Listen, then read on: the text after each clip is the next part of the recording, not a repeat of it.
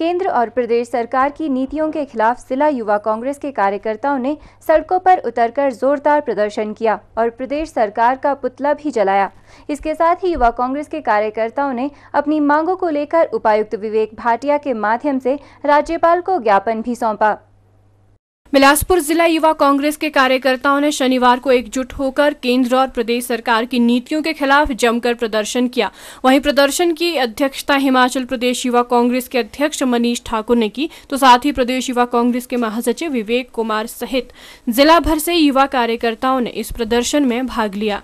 इस मौके पर युवा कांग्रेस के कार्यकर्ताओं ने उपायुक्त कार्यालय तक रैली निकालकर सरकार विरोधी नारेबाजी की और प्रदेश सरकार का पुतला भी जलाया।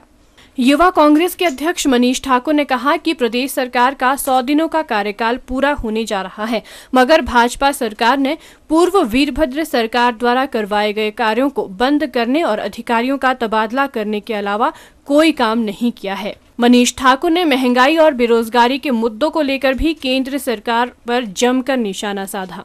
किन्नौर के अंदर जो पॉलिटेक्निकल कॉलेज है, वहाँ पर बजट का प्रोविज़न नहीं था अनाउंसमेंट हुई थी, आधारभूत सुविधाएँ नहीं थी, वो जो कॉलेज है आज रोडू में चल रहा है। और जो कुल्लू का पॉलिटेक्निकल कॉलेज है, वो सुंदरनगर में चल रहा है। अगर आप ये कहते हैं कि उसमें बजट का प्रोविज़न नहीं था तो आप उस कॉलेज को कहीं और चला सकते थे। करसोग के कॉलेज को भी और चला सकते थे।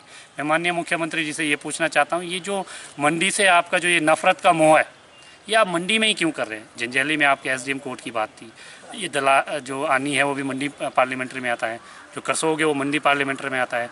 बलद्वारा की जो चौकी थी, शायद उसकी भी डी नोटिफिकेशन वो निकाली है। कि मंडी से इतना ये नफरत क्यों कर रहे हैं, मैं उनसे पूछना चाहता हूँ। और प्रदेश के जो दूसरे संस्थान हैं, चाहे वो सी है, आयुर्वेदिक हॉस्पिटल्स है, या दूसरे पुलिस स्टेशन है, उनको डी नोटिफाई शिमला के अंदर भी चौपाल में किया, परमाणु का किया सायरी में इन्होंने किया एयरपोर्ट के साथ।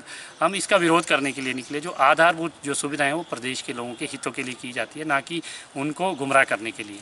इस देश के अंदर मोदी जी को चार साल बन के हो गया उनकी सरकार को बन के हो गया उन्होंने महँगाई से निजात देने की बात की थी, दो करोड़ युवाओं को नौकरी देने की बात की थी, लेकिन जब हम इस देश का जो युवा है, वो आवाज़ उठाता है, मोदी जी क्यों नहीं दो करोड़ लोग को नौकरी देते? क्यों नहीं सिलेंडर के भाव को नीचे लाते? क्यों नहीं महँगाई कम करते? सिटी चैनल के लिए बिलासपुर से विजय भारद्वाज की रिपोर्ट।